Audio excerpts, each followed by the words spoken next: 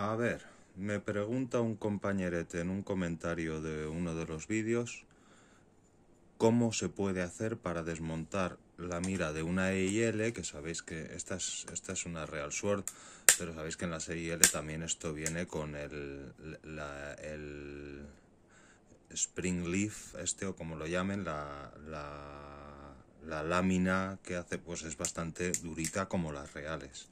Y si no se tiene esta herramienta para desmontar, empleándola así, que así lo que hace es bajar esta parte para desengancharla, cómo se lo pueden montar. Yo en el momento lo que hice fue en un vídeo hacer un poco la burla de jaja, yo tengo una Real Sword y los que tenéis IL no tenéis esto, que es súper guay, pero no se me ocurrió dar una solución para que la gente que tuviese Real Sword realmente pudiese desmontar a gusto. Y entonces me he lanzado a decirle, porque creo que en alguna ocasión lo había hecho yo, con unos alicates, pero vamos a tratar de comprobar a ver si se puede hacer. Ojo, con los alicates corres mucho más riesgo de rayar bastante más esto, así que conviene siempre emplear algún tipo de trapito. Pero si tienes unos alicates más o menos del tamaño, y del tamaño me refiero al grosor, sobre todo, que te quepan, que te quepan entre estas dos piezas, entre las dos que, que ocupen esto, si ocupan más no te van a servir, pero si ocupan esto, por lo menos para quitarla, ahora veremos para ponerla, se puede imitar un poco la forma de esta parte de esta herramienta en C con los, con los propios alicates y creo recordar que así más o menos se podía apañar uno, a ver si me sale, para desengancharla, efectivamente. Ahora lo difícil es engancharla, que ahí la verdad es que sí que es muy útil esta parte que tiene esta herramienta.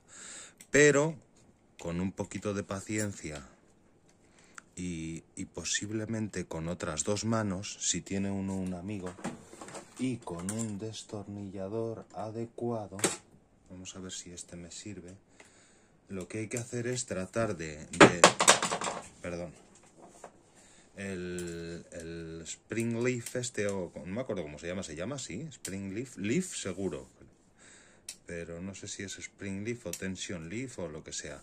La lámina esta lo que hay que hacer es bajarle el extremo, aplastarlo lo mejor que podamos para que esto pueda entrar por los railitos que tiene.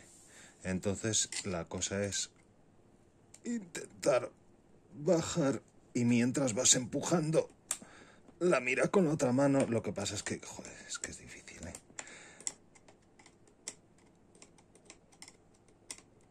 Pero creo recordar que así lo he conseguido yo en alguna ocasión. ¡Oh! Me duele la mano. Esta sería la técnica, ¿eh? Lo mismo no lo consigo que lo dicho. Si se hace entre dos, mejor porque es que esto está duro y hace daño en la mano y todo y hay que apretar mucho.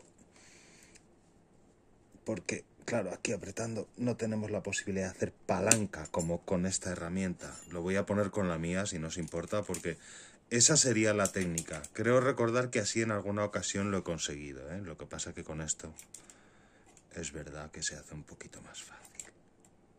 Hay que coger justo la puntita pero sí, se hace más fácil.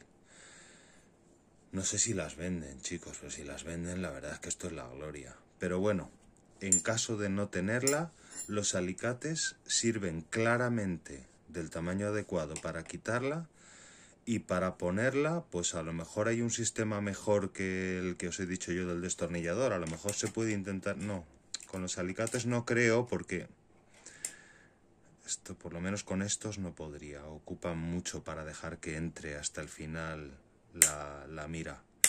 Pero con el destornillador y un amigo, yo creo que sí que se puede.